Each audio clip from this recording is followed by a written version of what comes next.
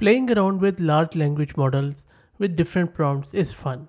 Installing them is also fun. But if you think about it, what's the utility?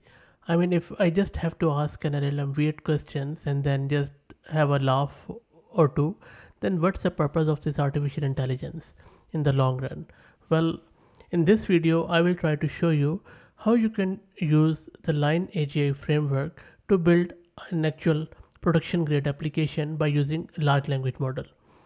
I did a previous video on LionAGI and I showed um, the introduction as how to install it and how you can use that LionAGI in a simple application by using OpenAI's ChatGPT 4 model.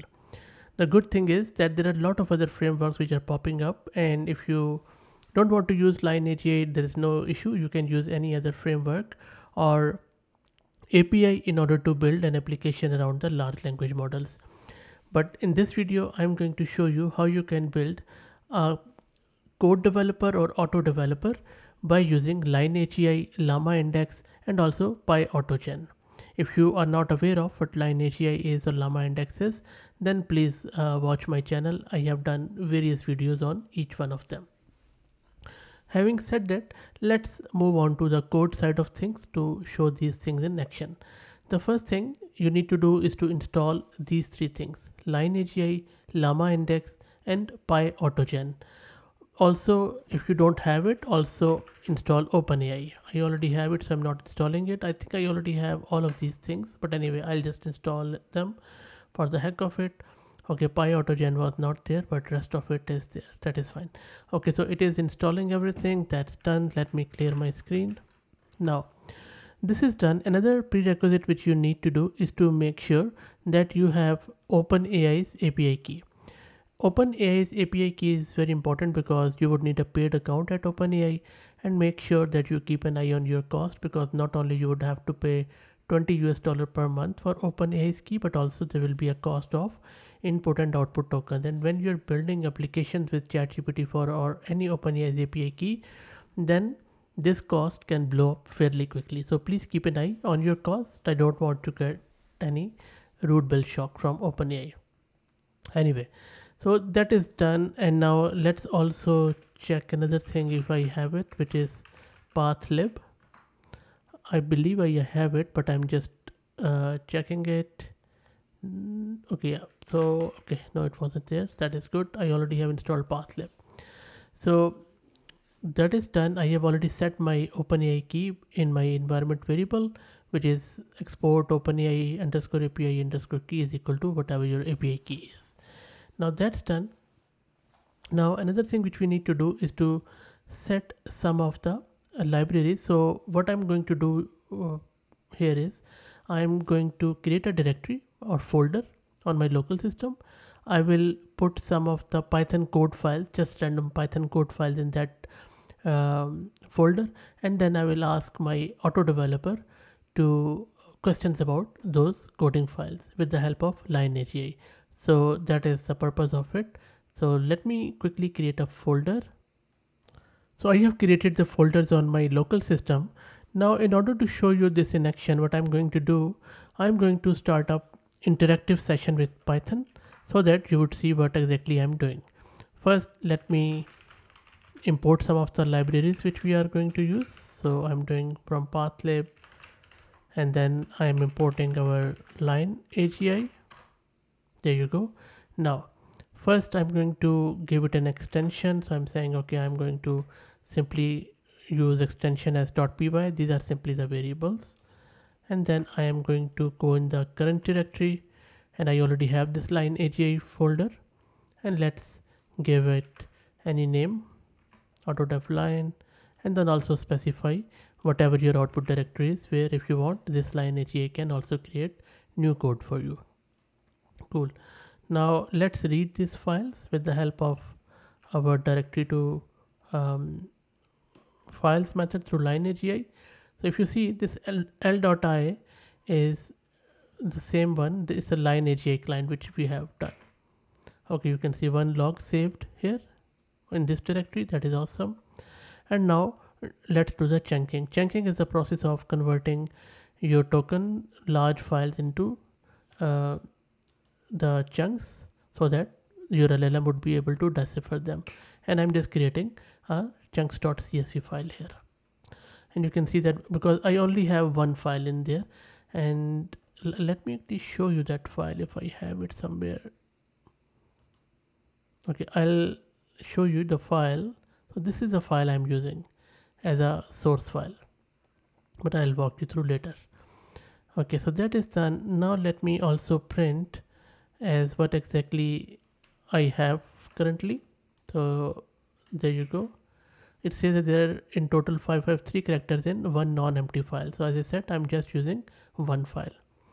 Now let's create the content of it. I'm just calling it a lens.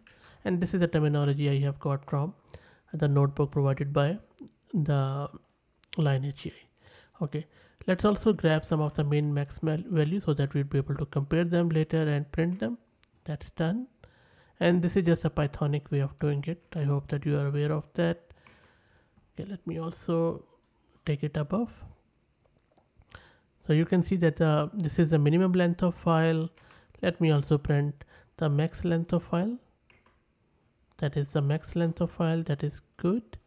And now let me also grab the average length of the files. And sorry I'm just doing it in the real time so there there's a lag. I don't want to make it a um, clear and non-cut version. I just wanted to show you if there is any error we will resolve try to solve it in tandem. Okay so that is done. As as you can see this file is pretty uniform and not uneven so which is okay. Now once that's done you can also print it out for example what sort of chunking it has done.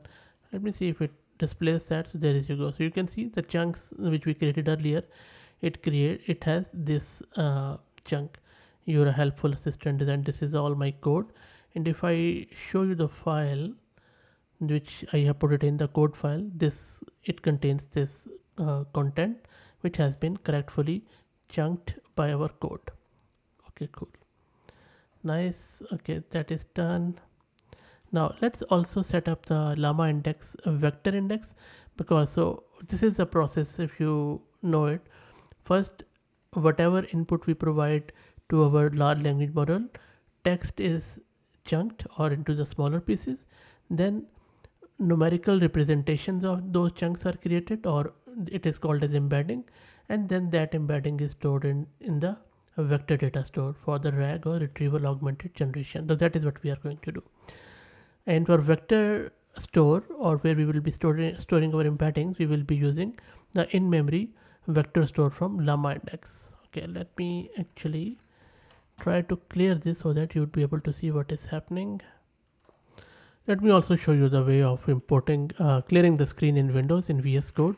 This is Windows operating system by the way, and I'm using Git bash in it. So simply import OS and then define this lambda function where we are doing a system call to the OS command CLS and now simply type clear this and this is going to clear our screen and you can now simply run clear this as many times as you want and it will clear our screen and make the uh, output much much uh, decent okay now let's create our vector store on our chunks so that we will store the embeddings so I'm simply um, importing this service context and vector store index from LlamaIndex. So let's wait for it to load. Takes a bit of a time. Okay, now it gave us an error. Let me see what is happening here.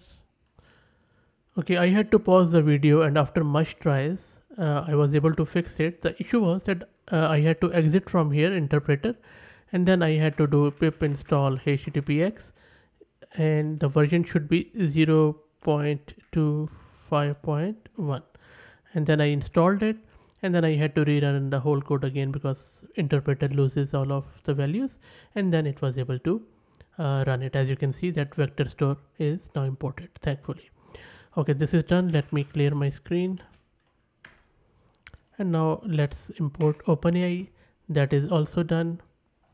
And now import the text node because uh, nodes are where it stores the data and it uh, or the chunks. So let's build nodes from our existing chunks which we already have put in for our file so f contains the content and then let's call um, the no the, the lambda for the chunk content. That is also done. And now let's set up our vector index. So as i mentioned earlier i already have set my openai's api key and i am using llm as gpt-4 that is done. Now let's set up the service context. This is i'm just using the default with this llm that is also done and now let's create our index. This is our vector store index. That is done. Sometimes it takes a bit of a time but we have a very small file. And now let's set up our query engine for tree summarize because we'll be summarizing it. And that is awesome. Now let's ask it um, maybe for our what is or maybe I'll say what is the system prompt in the code? Let's see if it is able to see it or not. And enter it and let me print the response of the model. There you go. So the system prompt in the code is you're a helpful assistant designed to perform calculations and you can see this is my code which we have chunked vectorized stored indexed and now we have curated it with the help of LionAGI awesome. So you can see that it is working up till now which is awesome. You can query anything about the code. Maybe I will ask it um, some let me clear the screen and I'll ask it something to um, a general question. Let's see if it is able to do that I'm asking it. Uh, can you suggest any ideas to optimize this code? Let me print let me send it and now let's print it. You can see it is taking bit of a time because it is talking to that chat gpt-4 at the moment. So let's wait for it to come back because it is generating the response and all that stuff. So let's wait for it to come back and then we will print the response. Shouldn't take too long. So it has come back. Let me print the response. There you go. Amazing stuff. You can see there are so many things. For example it says reuse a session object. Asynchronous context manager manager because i'm not using it. It is suggesting me to use it so and you can see there are a lot of heaps of suggestions about testing cleanup and all that stuff. Uh, and it is suggesting us that if you implement these suggestions code will be more robust maintainable and potentially more efficient. Amazing. Let's suppose i am not a python uh, developer. So and i want to ask it what uh, exactly is this uh, asyncio so i'm going to ask it in a rude way. What in the hell is asyncio in this code? And let me print it. And my apologies if anyone got offended. But I'm just trying to test out the model here. So let's see what model says. There you go okay model hasn't complained like a good boy. It is just saying async is a python module that uh, blah blah blah what it does and amazing stuff.